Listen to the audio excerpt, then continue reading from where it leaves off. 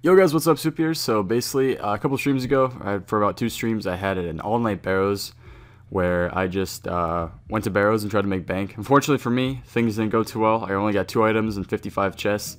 Those being like the, the top three worst items you can get being an Ahrim Staff and Torag's Hammers.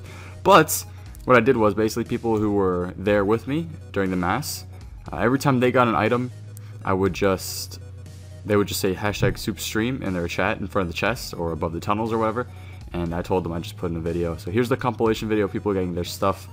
Um, no Guthan Spears from what I could see, uh, but a lot of decent loot. I know there's like a Verac's Helm, uh, Karil's Top, DHX, a lot, of, a lot of DH stuff. But I do appreciate everybody that came down. Got a couple D meds too. I got a D med as well. But we got we got some good stuff, and I appreciate everybody that did come down. Uh, here's your video with all your stuff in it.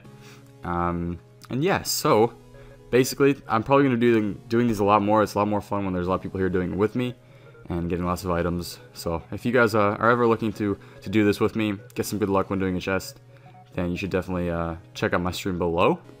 And obviously, you will get bank loot when you're here. Still wish I get a Guthan Spear, but uh, I got a Guthan Spear on like my fourth ever chest in 07. So that was pretty lucky. Anyway, here's a, here's a clue that I promised I put in. He got Ranger Boots during my stream and said hashtag soup stream. So that was just for you back to 7. But yeah, anyways, a uh, couple couple loots left, about three left. So I do appreciate everybody that came down again, and hope you guys enjoyed. Leave a like if you guys want to see more, and check out my stream below if you guys want to be notified of the next time I do something like this, and I will see you next time.